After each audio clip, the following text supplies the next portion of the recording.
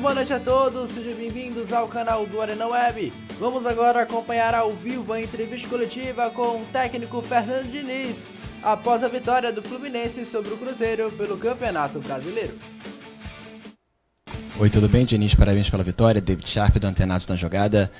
É, eu queria te perguntar sobre o Marcelo, né? Porque o Ganso fora, o Marcelo entrou no meio de campo, no lugar do Alexander, foi muito bem. Queria saber se você conta com ele nessa posição para o jogo decisivo, que a torcida só pensa nisso.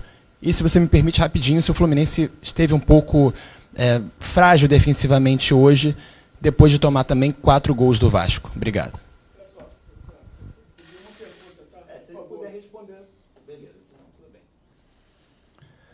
É, o time não teve frágil. Primeiramente, bom dia. O time não teve frágil defensivamente.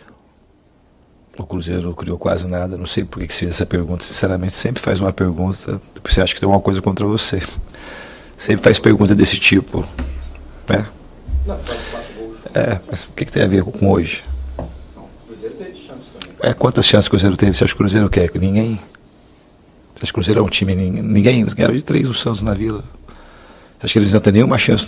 Só ia ser bom defensivamente se não tivesse nenhuma chance de gol na tua cabeça. Tá bom, respondi a tua pergunta. Não teve, o time não foi mal defensivamente, muito pelo contrário. Foi por conta da defesa, de todo mundo defender, que a gente conseguiu ganhar de 1 a 0. Lucas Mol, da Litoral News. Diniz, é, falta uma semana para o jogo mais importante do, do Fluminense nos últimos anos. E aí, mesmo saindo com a vitória, o Fluminense jogou muito bem, Léo Fernandes fez um, fez um golaço, como, mas como controlar o ânimo do, do time do Fluminense, o emocional, toda essa questão psicológica do time, para faltando uma semana, o último jogo antes do jogo mais importante do Fluminense no ano? Eu acho que o time está bastante consciente da importância, da responsabilidade que a gente tem. É uma jornada que, para mim, junto com esse time, começou desde o ano passado, de conseguir classificar direto para Libertadores, e a gente está se empenhando ao máximo, tomando todos os cuidados possíveis, defensivamente, ofensivamente, no ambiente, no controle da, de lesão. A gente espera poder contar com todos na, na quarta-feira para a gente fazer o nosso melhor aqui. Aqui, Diniz, boa noite. Bom dia, né? Parabéns pela vitória. Bom dia. Queria que você pudesse avaliar a arbitragem do Matheus Delgado. Né? Primeira vez apitando uma partida contra o Fluminense, árbitro novo de 25 anos. É, gostaria que você pudesse avaliar a arbitragem. Das arbitragens aqui do brasileiro, foi a melhor, entre as melhores. Apesar de ser jovem, tava, teve muito perto do lance. Não cometeu excessos de, de ficar dando cartão amarelo os dois times também colaboraram, bem verdade. Foi um jogo pegado, bem disputado, mas sem nenhuma falta maldosa. Eu acho que ele soube conduzir muito bem a partida. Está de parabéns. Boa noite, gente, tudo bem? Vinícius Rodeio, GE. Globo. Eu queria falar um pouco sobre, que você falasse sobre a opção do Marcelo, que ele entrou hoje no meio-campo. É, foi é, principalmente ali pela meia-direita, ele já fez dois gols em clássicos contra o Vasco enquanto Flamengo. Eu queria saber se você já considera ele como uma opção, assim, já pensando no internacional, que você avaliasse mais ou menos essa posição dele ali no meio de campo, por favor. É uma opção, porque foi opção hoje, né? mas naturalmente não é a posição dele de origem. Mas ele pode em algum momento migrar para essa, essa posição, eventualmente sair jogando alguma partida, ou durante o jogo a gente usar ele nessa, nessa posição. O Marcelo é um jogador tecnicamente absurdamente acima da média, extremamente talentoso. Um dos maiores jogadores que a gente viu nos últimos 15 anos no futebol mundial. Ele está se encontrando cada vez mais no Fluminense, está feliz, sempre ajuda os garotos, tá? E é sempre um prazer poder ver o Marcelo jogar. A gente espera que, a gente, que ele consiga ter vida longa ainda no futebol. Boa noite, Diniz. Daniel Santiago, Rádio Roquete Pinto. Falar sobre o Léo Fernandes, né, autor do gol de hoje, ele chega talvez como o principal reforço do Fluminense nessa janela do meio do ano. É, chegou com expectativa, a torcida viu vídeos dele lá, os números dele no futebol mexicano eram bons, mas ele ainda não tinha conseguido, não consegue demonstrar ainda uma sequência é, dentro do campo. E hoje ele consegue entrar, ser decisivo, fazer um belo gol. Você acredita que pode, quem sabe, dar um ânimo a mais, uma renovada na confiança, para que ele consiga demonstrar no Fluminense o futebol que ele já demonstrou em outros lugares? Eu acho que pode, não só por conta do gol. O Léo é um jogador também muito talentoso. Ele veio para cá muito bem referendado, a gente foi extremamente cuidadoso ao trazê-lo. Existe um processo que a gente tem que saber respeitar de adaptação, um jeito de jogar diferente do nosso time e o futebol brasileiro também é bem diferente do, do mexicano. Então acho que ele está se adaptando, está se esforçando e a tendência dele futura é, na minha concepção, é bastante positiva. Boa, no... Boa noite, Diniz. Aqui é o Davi Ferreira, do Jornal Globo. É, eu queria perguntar em relação à sequência como mandante do Fluminense atual. São agora 25 jogos invictos nessa temporada, são sete vitórias seguidas como mandante.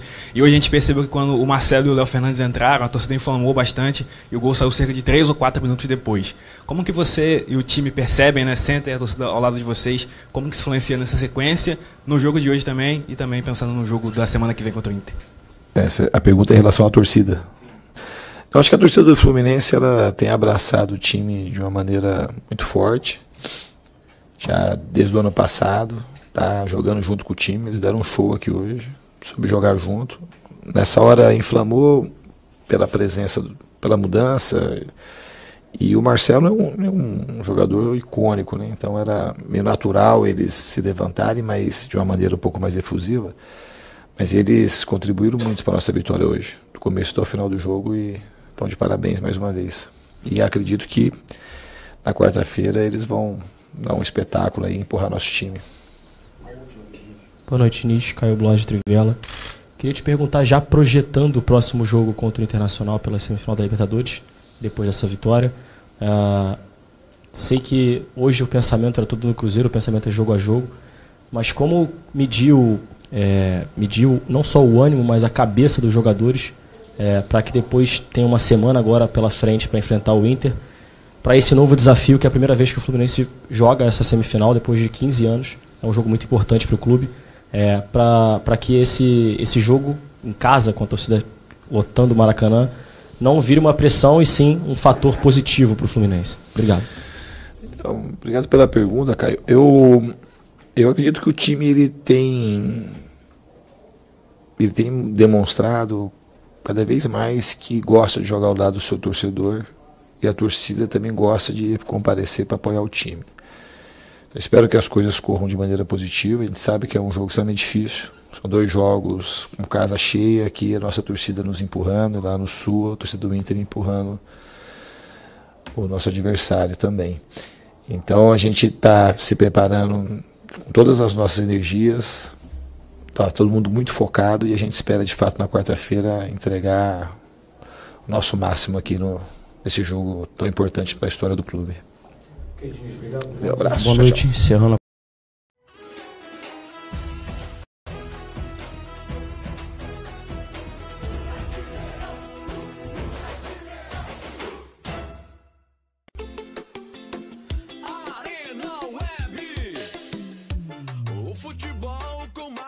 informação. Entrevistas, notícias e informação. É na Arena Web.